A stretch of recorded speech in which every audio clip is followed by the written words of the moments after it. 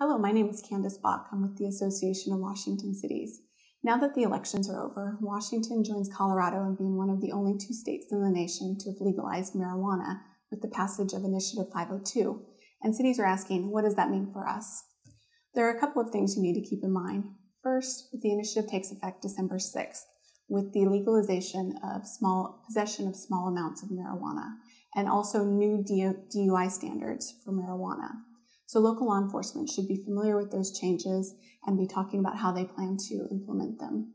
The next part of the initiative doesn't actually take effect for a year. The Liquor Control Board has been tasked with creating a licensing and regulation scheme, and they have one year to, to implement that rulemaking. So those changes won't take effect until next December. There have also been a lot of questions about revenue generation from marijuana sales. The new law creates a 25% excise tax on each transaction point from grower to producer to retailer. But that money is all earmarked for the state budget. Locals will only see revenue from local sales tax and local B&O taxes. There have also been a lot of questions about what the federal government will do. Marijuana remains illegal under federal law, and we're waiting to see what the Department of Justice will say about the new laws here and in Colorado. Finally, there are also questions about what happens to medical marijuana.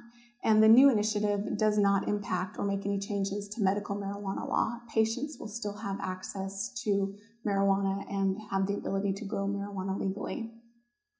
So this initiative leaves us with a lot more questions than answers at this point. AWC is working hard to get information out to our members about the impacts to communities, we've provided information on our website, including links to the Liquor Control Board and the OFM fiscal notes. Finally, AWC is hosting, along with the Association of Washington Counties, a webinar on November 27th that will provide more information. And we encourage everyone to register for that webinar. I think it'll be a great opportunity to learn more.